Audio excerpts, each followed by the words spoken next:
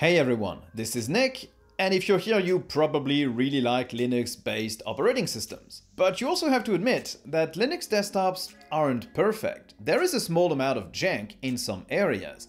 What I'd like to do in this video is explain why I think that this jank in some areas is what actually makes the Linux experience really great, and that to love using Linux, you kinda have to embrace it. Do you know what's not janky though? Today's sponsor. This video is sponsored by Safing. They are an open source company that develops the Portmaster, an all-in-one network monitoring solution. It allows you to watch everything that comes in or out of your network and then block or allow the stuff you want to take action on, globally or on a per app basis. Portmaster is free as in free beer and completely open source, and it also has advanced features like filter lists to automatically block ads, trackers or malware, and it can enforce secure DNS over TLS for your whole computer. All these features are easy to access thanks to a simple and legible user interface and you can download it as a deb or an arch package. It's also available on Windows if you need it there as well. Safing's Portmaster is still in alpha and looking for users and input. The team is super responsive and you can contact them by mail, on Reddit or directly on GitHub. Follow the link in the description to download Portmaster and give the team your thoughts. Okay, so I'm just going to start by pulling the rug under the feet of a lot of people who are probably already furiously typing on their keyboards to leave a comment under this video. Yes, Linux desktops aren't perfect. Some features are lacking, some are not as well implemented as some other operating systems might do.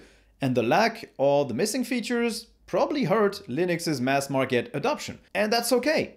Linux doesn't need to dominate the market of the, of the desktop operating systems. It doesn't need to crush Windows or Mac OS. I'd argue that Linux only needs about 5 to 6% market share to be utterly relevant to third-party developers and be a complete desktop operating system all on its own. In the meantime though, Linux desktops do have some janky areas, some areas where they need improvement. And that's also what makes Linux appealing and charming, as we'll see in this video and it also might hurt its mass market adoption potential. That's, that's okay. So the first area that people tend to notice is the fact that after a while, a Linux desktop starts to look pretty incoherent in terms of look and feel. When you just install your distribution, you generally only have one desktop environment and the applications for that desktop environment, so everything is actually super neat and tidy. But as time goes on and you'll start installing applications that don't necessarily have alternatives for your specific desktop, things are going to start looking out of place. You're going to have GNOME apps inside of KDE or KDE apps inside of GNOME, and their user interface paradigms are just very different.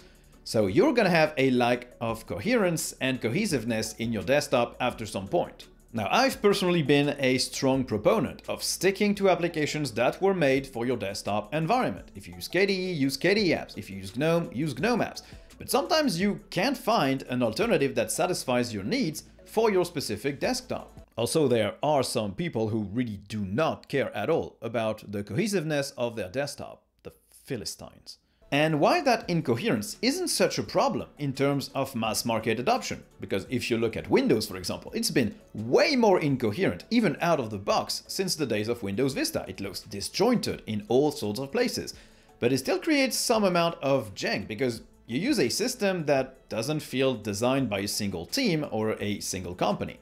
And in my opinion, that's a reason to actually really love using Linux, because you see this difference in terms of styles, of themes, of UX, slowly fading away as time goes on. You see a progression. Apps are getting better at picking up the colors you use on your desktop to apply them on themselves.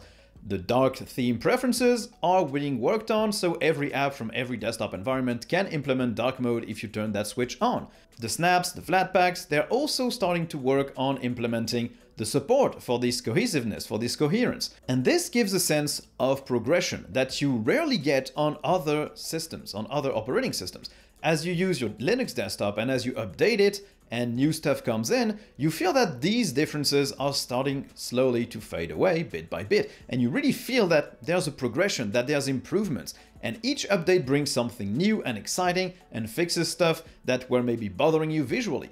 Now the second janky area comes from the very nature of Linux operating systems, of Linux distributions. They're built by stacking on top of each other various projects. You have the Linux kernel, you have systemd, you have x.org or Wayland, you have the GNU tools, you've got a desktop operating, you've got a Linux desktop, you've got third-party applications. And all these projects are developed by different teams with different goals and different visions. And let's say that these goals and visions don't always align perfectly. Now, distributions are built by stacking up these systems on top of each other. And as all things not developed with a common vision, a common team, there's bound to be some friction. Sometimes one project will decide to reinvent how it works, sometimes for good reasons, most of the time for good reasons. The problem is, the other systems need some time to adapt to this, to react to this, to decide if they want to adopt this new convention or not. And it creates friction and it creates jank because those systems don't necessarily talk to each other extremely well. Now the perfect example is the Wayland transition. Moving to Wayland is necessary in terms of security, in terms of performance, in terms of evolving the Linux graphics stack. But the other systems that are built on top of a display server, of a compositor, they took a long time to react because it's not the default, it's not adopted yet, it's a completely different way of displaying graphics, and so most Linux desktops are not ready yet. Like GNOME is almost there, but KDE is only reaching usable status on Wayland nowadays.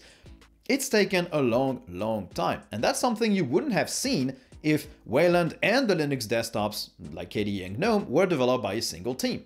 From the outside, it might seem that this stack of disjointed projects is creating problems. Now, from the inside as well, to be honest.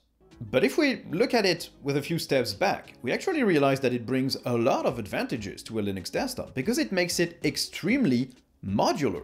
You can replace virtually any component of a Linux distro by something else. If a distro ships with Wayland out of the box, but you prefer x.org for a reason or another, you can install it.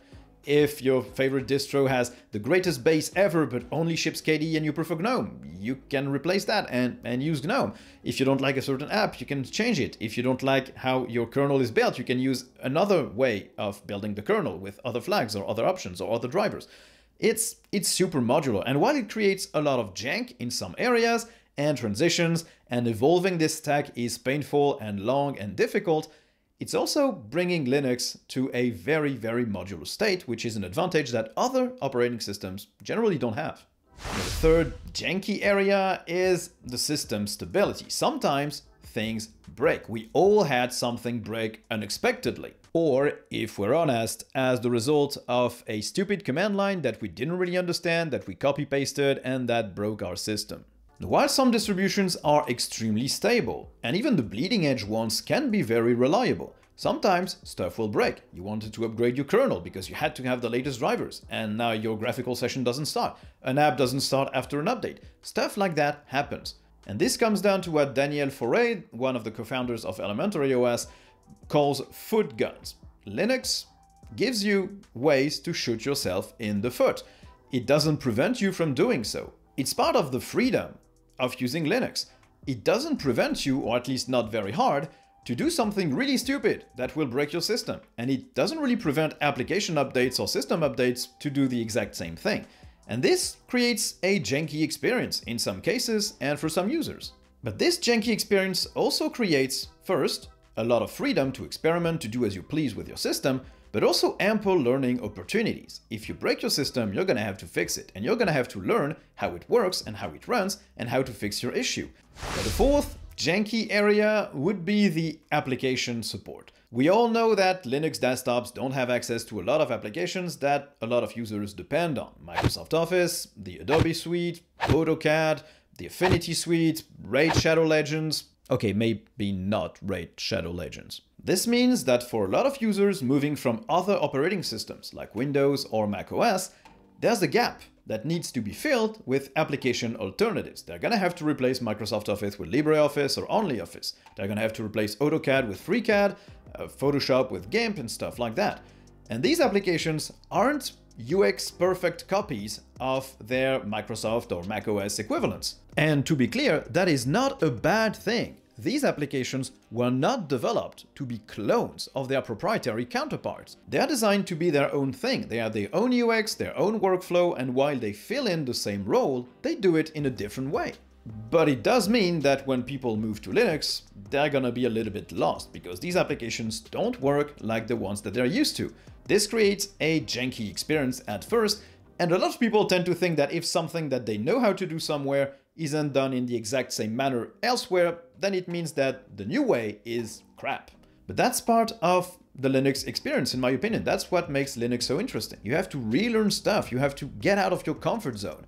And I perfectly understand why a lot of people wouldn't want to do that. They use what they know, what they know works, and they have no incentive to change, and that's fine. But for people who like to learn, Linux provides this learning opportunity that you can't really get anywhere else. So, the Linux desktop. It's a bit janky, weird, wonky, disjointed, whatever you want to call it. It's not perfect, and it can't fit 100% of everybody's use case, and that's fine because it also means that using a Linux desktop has tons of advantages that you don't get on other systems. It gives you more freedom, it gives you learning opportunities to get out of your comfort zone, to learn how things work, to learn how to fix your own problems.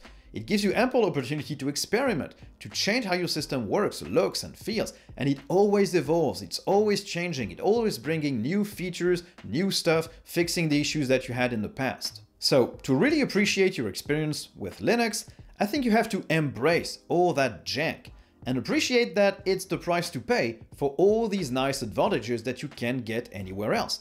And you also have to appreciate that some people are not willing to put up with all that jank, because after all, they had to learn how to put up with all the jank from the systems that they already know. So this video was made possible by Slimbook. If you don't know about them already, they're based in Valencia, Spain, and they make Linux laptops and desktops for all budgets, all performances, all keyboard layouts, and they ship worldwide. So if you need a new Linux device, I can only recommend them. I only use their stuff nowadays, and I left a link in the description below. So thank you all for watching this video. If you enjoyed it, don't hesitate to like and subscribe, or dislike and tell me why in the comment if you thought it was bad. You can also watch all my stuff on Odysee, I left a link in the description, and you can also join my Patreon subscribers and YouTube members, you'll get access to a weekly Patreon cast and the right to vote on the next topics I'll cover. So thank you guys for watching, and I'll see you in the next one. Bye!